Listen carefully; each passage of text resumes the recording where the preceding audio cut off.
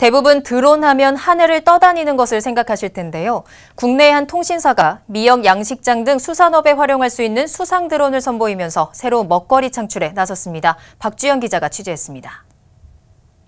직진! 바다 위 미역 양식장에서 수상 드론이 이리저리 움직이며 정보를 수집합니다. 드론에 탑재된 환경 센서가. 양식장은 물론 주변 네. 환경을 모니터하고 바다 환경 정보를 관제센터에 전송합니다. 수상 드론을 활용하면 어민들이 양식장 인근의 적조 피해를 예측하거나 수온을 측정하기 위해 수 킬로미터 떨어진 바다에 나가는 수고로움도 덜 수 있습니다. 이 같은 수상 드론은 LGU 플러스가 시시각각 변하는 바다 상황을 어민들이 즉각 알 수 있게 하기 위해 국내 최초로 개발한 것입니다. 이런 서비스가 가능한 것은 LTE 클라우드 관제 시스템 덕분인데 LGU 플러스는 최근 확대되고 있는 드론 시장을 주목하고 드론의 LTE 관제 시스템을 접목했습니다. LGU 플러스는 이번 수상 드론을 시작으로 향후 다양한 서비스를 개발해 국내 드론 시장을 적극 노린다는 계획입니다.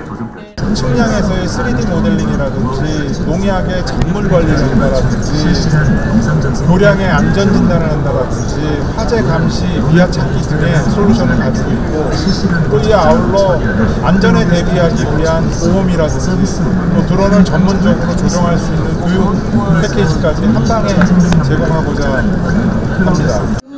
특히 LGU 플러스는 드론 사고로 발생하는 피해에 대한 보상을 받을 수 있도록 국내 한 보험사와 드론 종합보험을 이르면 오는 3월에서 4월에 내놓기로 했습니다. 아시아경제TV 박주연입니다.